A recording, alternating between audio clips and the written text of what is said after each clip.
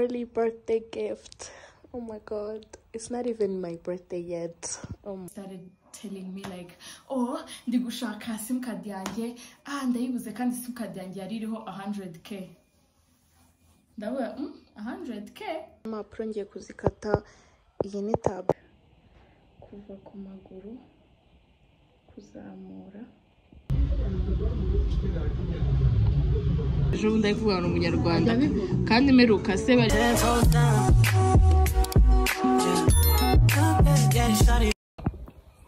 Hey guys, this is how we are starting our vlog. Oh my god, Narini can't. And guess what I have on? We're gonna talk about it. So guys iyi kanzu rero narayidodesheje muri max studio craft. And guys reka mbabwize ukuri ntabwo nexpectingaga ko ndi bube snatched gutya. Nashyizeho nimero kugira ngo abantu mushaka kuzayidodesha namwe muzayidodeshe nta kibazo. Irambereye cyane cyane cyane wagira ni njye yakorewe. It's giving rich it's giving wow. Na yo ndi kuyigera rero ndi gukora get ready with me umva kabisa navuze ati oh my god. Ndumvaga nafata video y'ino kanzu gusa gusa gusa gusa gusa gusa. Ibindi nkabyihorera byose. This is supposed to be my second outfit. Ndi gustylinga zino baggy jeans. I was supposed Ihanganire, ariko the earrings ziracyagezweho ndazikunda.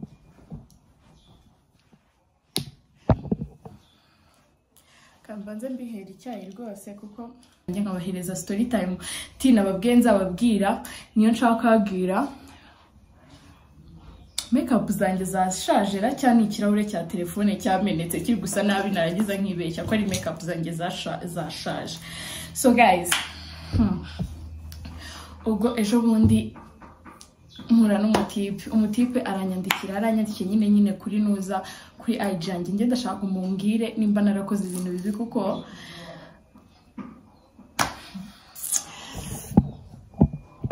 ndashaka kohereza inoti imwe noneho mukambwira ngo nayisi wakoze amakosa sibyo? So this is what happened. Uyu mutipe aranyandikiye aranyandikira turavugana. Hari ukuntu nyine ubundi ntajya nsubiza abantu. Hari ukuntu najya nsubiza abantu b'abahungu muri DMs zanjye. Hari ukuntu nyine ako karwara nkafite ariko naravuze ati okay reka mbashe kubasubiza. Dutangira kuvugana n'umutipe umutipe araza nyiyemeraho aje- yaje azanye igikabyo cyinshi. I will do everything for you. Yari yara i will do this for you. What do you want? Ni icyo ushaka for your birthday? And this guy was like okay nzakuzanira telefone ya 15 pro max. It looks good on you reka mbabwize ukuri. People you better run. Nimba umuntu aje akubwira utugambo twinshi avuga ibintu byinshi noneho reka mbabwire ubwo ibintu byabaye. Ubwo noneho arakomeza aranyandikira. Umunsi umwe ndi gukora advertisement z'udukapu ndabizi mwarabibonye ejo bundi ni ibintu bibaye vuba ntabwo ari ibintu rwose bijya kure ubwo noneho umutipe amaze kunyandikira arambwira ngo I wanna get you this bag. Ndamubwira ati oya nta kibazo iyo bag nayiguze kubera ko na- napostinze bag ndaje ndavuga ngo ngo want this so bad. Mpita ntaginga the abantu twe umu, account ya online twari turi gukorana. Actually guys ino bag na yo nayikunze njye ndashaka kubabwiza ukuri mukambwira n'ubundi this is muri famiye yanjye. Ni gute ntabahereza kino cyayi ngo mumbwire muri comment nimba narakoze amakosa. Ah this guy. Arambwira ngo i want to get you this bag. And i was like okay i bought it. Aravuga ngo oh ngo boss lady ahita mwohereza two pieces. Nashakaga ndavuga but you can get me this. And the guy was like how much is it? Ndavuga ati rero kubera ko two pieces ubundi byari ibihumbi mirongo itatu na bitanu cyangwa ibihumbi mirongo ine. Ariko namubwiye ko ari ibihumbi mirongo inani namubwiye nyine it's 80 dollars. Yo this guy was like okay okay no problem. Reka ahita atangira. Reka nshake simukadi yanjye ndi kumva simukadi yanjye kuko yigeze kuza mu rwanda rimwe arangije asubirayo. Numbaza ibyo yaraje gukora mu rwanda sinigeze nanabimubaza kuko like I'm not even interested in knowing this guy. Niko twari turi kuvugana gusa iyo faringa kungurira ikintu ndagenda ndavuga ati okay reka mugerageze ndebe koko nimba yabikora. And guess what, guys? This guy started telling me like, oh, ndi gushaka simukadi yanjye, ah, ndayibuze kandi simukadi yanjye yari iriho 100k. Ndavuga, mm, 100k? ndaba eh, 100k mi mi mi like uri kuvuga nkubwiye ko two pieces zigura ibihumbi mirongo inani ugiye kunyoherereza ibihumbi ijana. 100k you mad or something? okay guys nta nubwo nshaka kubicomplaining aho yari yara nta mafaranga ye yari kohereza abishatse cyangwa atabishaka n'ubundi ni hahandi pieces naraziguze. Sinashakaga n'amafaranga ye pe ntabwo nayashakaga. Ariko nashaka kureba koko nimba yayohereza kuko umuntu uhora ari tokative avuga avuga avuga avuga ngo nzakora ibi nzagira gute uwo muntu rwose mba ndi ko expectinga ko izi ari imbeba ari kumbwira nta kintu na kimwe azakora. Ubwo kambakomereze story. Ubwo nyamutipe ashatse simukadi ngo arayibuze. Ahita avuga ngo ariko ngo mfite ngo umuntu ngo uri muri Kenya ngo wanjye ngo ukoresha ngo M-Pesa kumva ngo ndaje mubwire ngo ahita ayikoherereza. Ahita akohereza amafaranga. Ndaje ndamubwira okay nta kibazo be waiting. Guys guess what? Uyu muntu turi ndwaye cyagiye yari ari kumvugisha buri kanya ndetse na mbere yuko ndwara twaravuganaga tugacata buri munsi tu- nkamubaza uko ameze n'iki n'iki. Umuhungu yahise aceceka. Nyivuga ngo I'll be waiting. Iyo yari last message araceceka umunsi wa mbere araceceka uwa kabiri araceceka uwa gatatu niko areba sitati zanjye niko apositinga niko agira gute. Ubwo ndangije nimba message ndi buyishyire hano namwandikiye navuze ati oya ngiye ntabwo ngiye muri make guys ukuntu meze ama capricorn. Ntabwo nzi ko capricorns ariko zimeze ariko ngiye niko meze. Nimba mbabwiye ngo ntago nshobora kugumana ikintu mu mutima wanjye kuko iyo nyigumanye ngira inzika. Rero biba byiza iyo nje nkakikubwira umutima wanjye ukaruhuka. Naje mpita mwandikira ndavuga ati se wanze nyine reka mbisobanure ariko ndaza kubishyira hano mu bisome ndavuga ati se wanze kunsubiza kubera ko wavuze ngo uzanyohereza amafaranga? Mpita mvuga ngo abagabo bamwe na bamwe nyine sometimes muri funny muri so funny. Kiriho utuntu duseka. Rega arandika arandika arandika. Nuko nuko nuko. Ntabwo nigeze nanga kwa- kwandikira. Baby i was busy. Baby i was this that this i a. Ndavuga ati ahita ambwira ngo nyine ngo so sorry ngo I apologize. Ahita anyohereza message ngo uyu muntu ari kubwira ngo amuhindure simukadi ndamubaza se ibi bi- byerekeranyeho nanjye gute ko mperuka bavuze ngo umuntu wo muri whatever this and that. Ansaba imbabazi akomeza ansaba imbabazi arambwira ngo ariko ngo ntabwo bizarenga ejo ngo ntayakohereje ngo rwose ngo ndashaka kuyakoherereza. Namubwira ati njye ntawe nagusabye. Nta na yo nshaka pe. Namubwira ati ntabwo njye nyashaka. Ntabwo ayo mafaranga nyashaka. Ayo mafaranga kuko se na- nta nubwo nari ndi kuyashaka. Gusa ni kwa kundi uba ushaka nyine kugira ngo umuntu andememo icyizere tumvuga ati wa mungani uyu muntu igikabya mfiteho wenda azabikora. Kuko njye ntabwo wanyofa- wanyofaringa amafaranga gutyo ngo urashaka kungura ikimyange I'm so tired of this. ubwo reka mbakomereze. Ubwo ntabwo nyine ndi wa mukobwa wavuga ngo ngiye kurya umuntu amafaranga mpite nk'umugositinga reka reka. Niba ushaka kumpa amafaranga yamwe gusa sinzifata ngo nze musaba amafaranga. Nanone nuba mu buzima bwanjye uri umuhungu ukora ufite amafaranga ndabizi neza ko mfite amafaranga yanjye ndagerageza uko byagenda kose ntabwo mfite amafaranga menshi ariko nditunze ndigaburira nishyura bills zanjye zose. Nta kintu na kimwe nkenera ngo nkibure kubera imana. Muri kumva ariko nanone ntabwo ngewe uzaba mu buzima bwanjye uri umuhungu nta kintu umariye ngo ni uko ngo urukundo. Nkitaho ni uko unyohereza gift. Ntabwo ndi kuvuga ngo ibintu biri expensive ntabwo ndi materialiste ariko reka mbabwize ukuri nkunda gift izo ari zo zose. Niyo wanyohereza indabyo za cumi na bitanu niyo wakifata ukamereza ibihumbi mirongo ingahe ukambwira ati jya muri salo umva ako kantu kankoraho rwose umva ndapfuye mu mutima wanjye umva oh my god nimba uri mu buzima bwawe so kambakomereze story rero uyu muhungu arangije akimara kumbwira nyine ngo ari buyanyeze n'iki ngero ndavuga ati ariko reka mwumve ndamubwira ok nta kibazo ngo none se wambabariye ndamubwira ati ngo nta kibazo nakubabariye ubwo ejo negereje ko yohereza araceceka nanone umunsi wa kabiri urongera. Uwa gatatu urongera. Uko yaracecetse nanjye nari namwihoreye. Ngewe burya nta nubwo njya ninginga sinjya ngira gute. Mpita mvuga ok let me delete this guy's number. Ndavuga ati reka nyisibe ku buryo nta n'ahandi hantu n'umunsi wa rimwe nzongera guhurira nabo. Siba nimero ye gusa sinigeze mu block mind you this guy is on my snapchat this guy is on my instagram this guy is on every social medias that i use. Yo icyongereza cyanjye kiri kugenda kimprovinga mo gake gakeya i'm so happy. So ubwo hashize iminsi itatu ejo bundi ngiye gusohoka nditegura mera neza n'iki n'iki arangije ahita aza arambwira. Ngo ngo ahita mm, ngiye kubona mbona yanyandikiye kuri snap. Yanyohereje guys. Uyibereke screenshot y'ibihumbi mirongo itanu ngo ashaka kunyoherereza. Ariko sha ayaya god. God. Ibihumbi mirongo itanu njye ntabwo wanyohereza nyine. Igikapu yari afite. Ntabwo rwose. Ibihumbi mirongo itanu bro. Ibihumbi mirongo itanu na mirongo irindwi. Nangahe?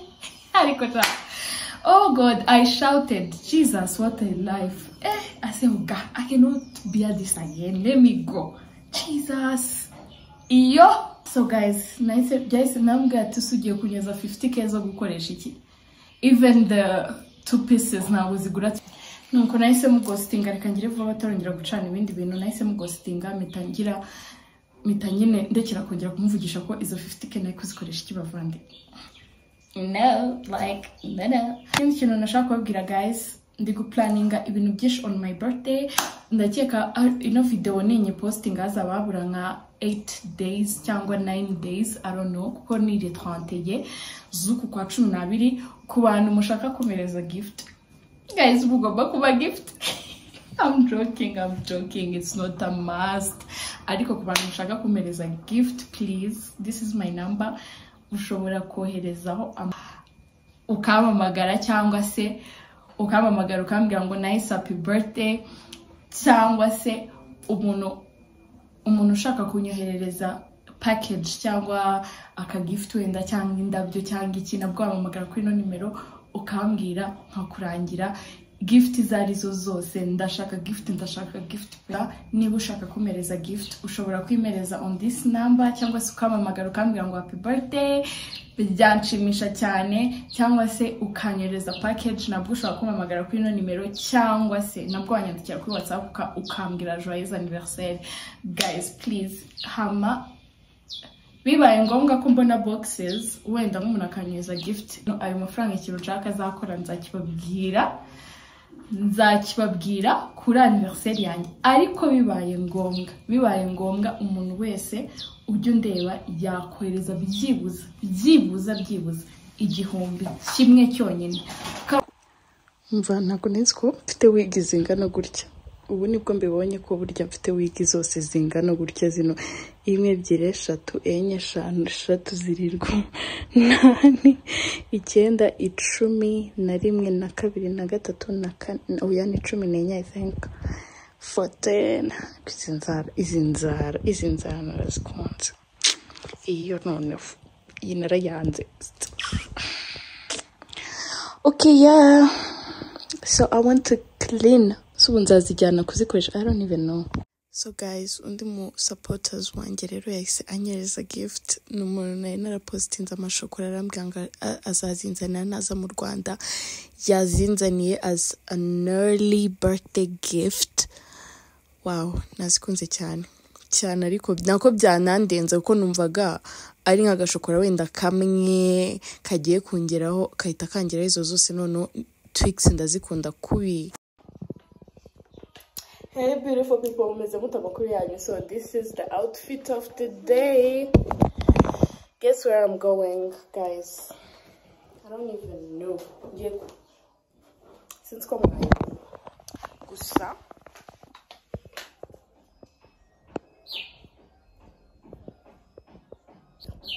So ngiye kujya kubikuza. Ngiye kubikuza amafaranga ko ngomba guhaha stock yanjye yarashize. ubundi nindangiza ngaruke mu rugo nkore vision board and that is going to be all. Majije yo gukuramo amafaranga ya mbere ngiye gukuramo akabiri izi note ni nshyashya zirasa neza. Iyo mba mfite amafaranga menshi pe mba nzikuyeho zose. Ukuntu ubushize njya gukorera indabyo sisita wanjye uzi ukuntu nasanzemo amafaranga ashaje bavandi. Nahise rero njya gufotoza amafoto azajya kuri vision board yanjye. Hano na yo ngeze mu rugo ndi kwitegura. Naguze na taburo nako murayibuka. Umva guys guess what early birthday gift. Oh my god. It's not even my birthday yet. Oh my god. Reka nkabegereze usome. Happy birthday in advance, babes. Couldn't wait for the day to reach and boom. I love you, Didi. Mm-hmm. Nah, Guys, abantu mutagira inshuti mubayeho mute sorry umva ni ukuri kw'imana byandenze Byan- byandenze pe. Biracyari kundenga pe. Mhm. like like oh my god. Uyu n'undi munsi rero nari nagiye kuri jorofu abantu bose barahazi turi tugiye kurya ifi njye na sisita wanjye na yo nkumbuye ifi yaho nendaga gupfa. Uzi ko ifi yaho nayiherukaga nko mu kwa kangahera nko mu kwa kane? Hano rero twari turi gutera sitori ndi kunywa icyayi kubera ko amagiripe yanjye n'ibibazo sisita wanjye we yari ari kunywa cocktail njye ari cyo ndi kunywa n'imvura yari iri kugwa nari nanakonje maze iminsi ndwaye amagiripe mw'abantu mwe muze mumbwire ikintu kinyuze amagiripe hanyuma ikindi kintu nashaka kubabwira impamvu ntaheruka gupositinga nagipositinga kabiri mu cyumweru mbi excuseho. Ndabizi abantu muri mu mavakanse ntabwo mubona umwanya wo kureba videwo z'umuntu cyane maybe ni na yo mpamvu videwo zanjye zitakirebwa cyane.